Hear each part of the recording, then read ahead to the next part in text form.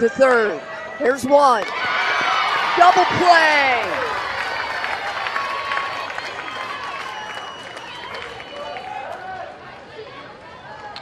And the energy from Nebraska. That's the second double play they've turned.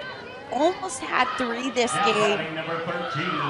How's that support for your pitcher who has been grinding these last two games? Hey, defense got you here.